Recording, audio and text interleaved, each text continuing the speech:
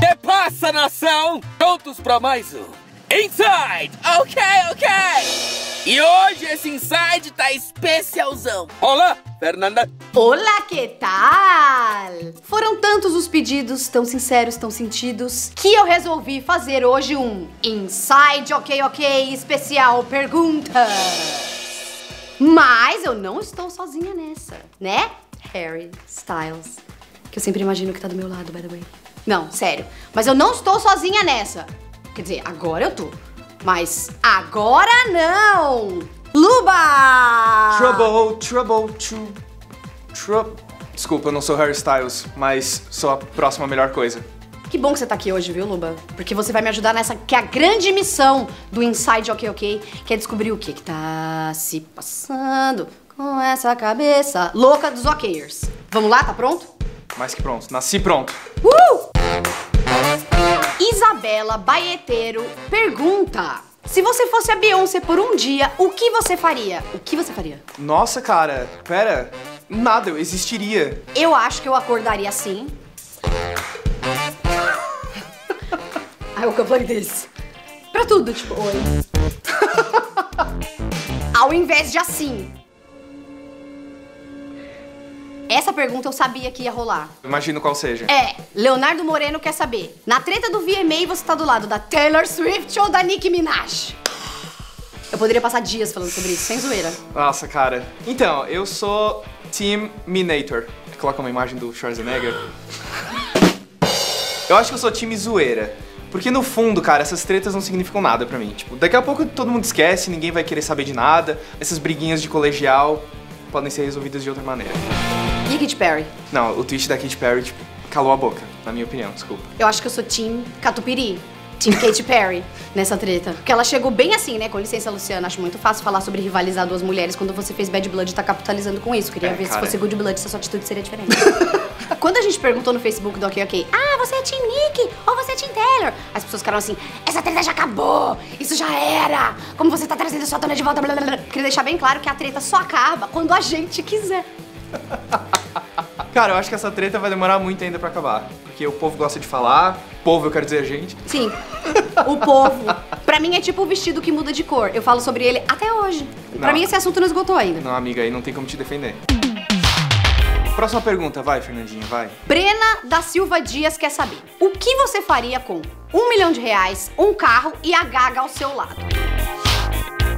Eu faria a continuação de telefone, tipo, meio ah, abrindo o saquinho, comendo hot pocket no Pussy Wagon. Uhum, Eu juro, cara, eu juro que eu ia falar. Eu entraria no Pussy Wagon, iria até um restaurante e ia envenenar todo mundo. é melhor. Simples. Podia estar nós dois no carro, a Gaga, um milhão de reais, o hot pocket, o restaurante, e depois a gente envenena as pessoas e fica assim. Kinda busy, kinda busy.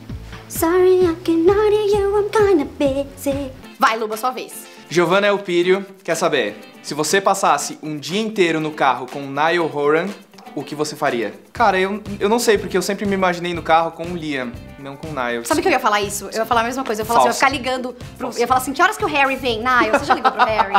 Niall, o que que ele respondeu? Ele visualizou? Ele visualizou, é muito bom. Niall, desculpa. É, nada pessoal. A gente leva a Anitta. Próxima pergunta, Fernandinha. Lorena Caroline quer saber: que famoso você mataria? Não, né? Pô, mas matar o famoso. Não. Não. Lorena, repete com a gente. Não somos o Charles Manson. Não podemos matar famosos.